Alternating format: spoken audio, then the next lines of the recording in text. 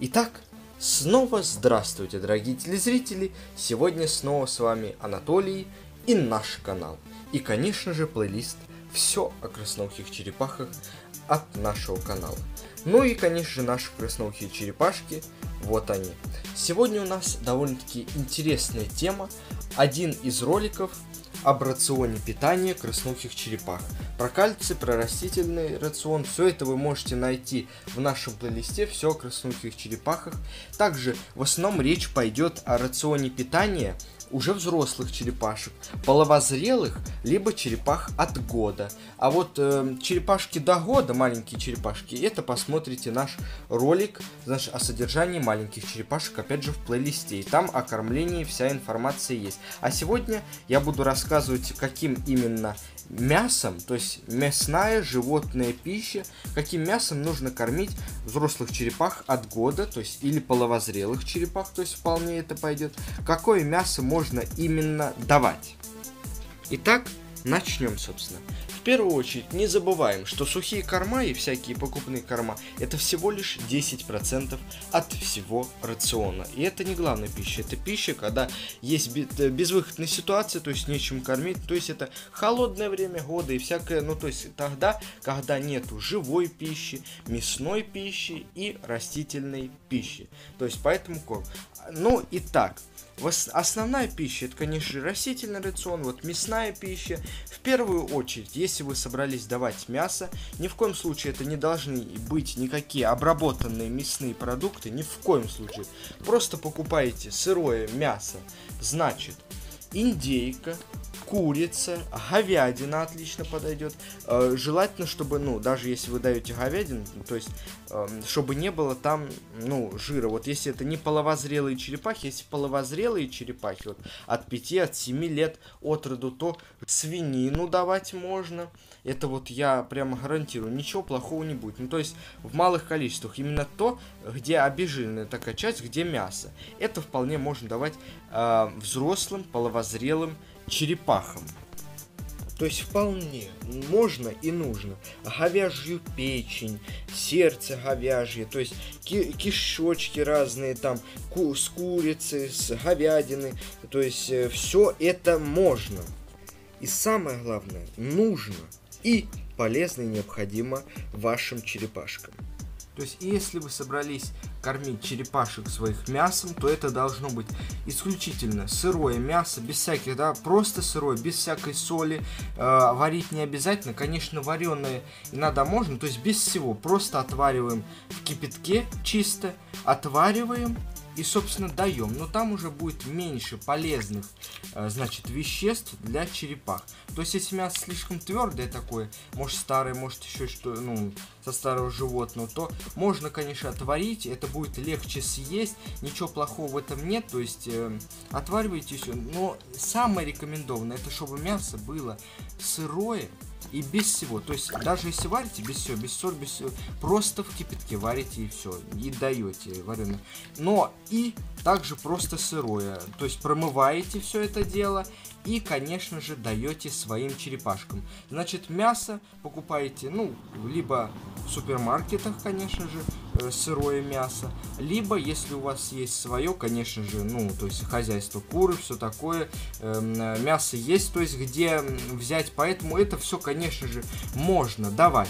Давать, конечно, можно и сердечки, и печень, и желудочки, вот эти пупочки куриные, там, э, утятина, значит, мясо, ну, то есть утки, гуся, мясо, говядина, как я уже и говорил, все это давать вполне можно, то есть легкие, даже кишочки вот эти можно давать, ну, это сердечки, это все вполне допускается, да, для того, чтобы давать в пищу взрослым черепахам. Само кормление основной пищи, то есть мясной, вы непосредственно производите в отдельной емкости, то есть, как я называю, в кормушке. Потому что вода сильно загрязняется от этого. Вы непосредственно после того, как черепашки поели, сливаете грязную воду, наливаете, конечно же, чистенькой от отстойной, и там они должны содержаться. Ну, то есть, э, я рекомендую вот э, сразу не сажать их после того, как вы их промыли, все вы бадью промыли, то есть вы оставьте их лучше в данной емкости для того, чтобы они испражнились тем самым. Это будет иногда, ну, вода жирная такая, грязноватая, поэтому пусть сходит, и потом уже э, через сутки вы кладете их обратно в основной акватерариум, чтобы вода тем самым поддерживалась в чистоте. Значит, следующая живая пища, то есть здесь я рассказал об мясной, мясном рационе. Животная пища, значит, конечно же, дальше мясо рыбы, то есть, возможно, живые рыбки. Очень хорошо подойдет мясо рыбы. Это непосредственно и фосфор, и кальций. Там множество всяких витаминов. Поэтому вы обязательно даете рыбу рыба это вообще как э, основной незаменимый рацион для черепахи. Поэтому вы даете рыбу, либо, то есть если это небольшая особь рыбы, вы даете непосредственно для того, чтобы черепашка ее поймала. Вот, а так э, разрезаете большую рыбу, ну то есть э, на отдельные кусочки и можете давать непосредственно э, своим черепашкам тем самым. Опять же хочу повториться, что рыба, как и лягушки, очень незаменима для красноухих черепах, в которой содержатся, опять же, незаменимые для жизнедеятельности черепах ферменты и витамины. Ну и продолжим. То есть дальше у нас, опять же, мясо лягушек. Опять же, вы даете лягушек вашим черепахам, насекомых, дождевых червей, улиток. То есть это уже тема пойдет у нас в дальнейшем. Дальнейшая тема, которая, то есть именно будет про рацион с насекомыми, рационы разных растительной пищи и так далее, про которые я расскажу более подробнее. Рыбу, опять же, можно купить также и в супермаркете, например, минтай, путасу отлично. Также морепродукты вообще отлично. Посмотрите также ролик про кормление морепродуктами наших черепашек, опять же, в плейлисте. Все это очень отлично будет. Минтай, путасу, вся эта рыба, э, покупная в сыром виде, она вся подойдет. А также, если вы наловили рыбу в реке, в реке то есть наловили, тоже вполне можно давать красноухим черепашкам. Это даже еще лучше. Речная рыба это вообще э, содержащие в себе незаменимые э, ферменты, микроэлементы, витамины. То есть наловили даже в живом виде, можно давать вашим черепашкам. Это все будет очень полезно. Не бойтесь, никаких не должно быть паразитов, все будет отлично. Вот наловите в реке в хороший такой, речная рыба наиболее ценная и наиболее полезная. То есть в основном нужно полагаться на речную рыбу, то есть кормить черепашек именно речной рыбой. То есть и карп, и сом, вся эта вся рыба речная, она очень пригодна для питания вашим черепашкам. Так что можете вполне смело давать.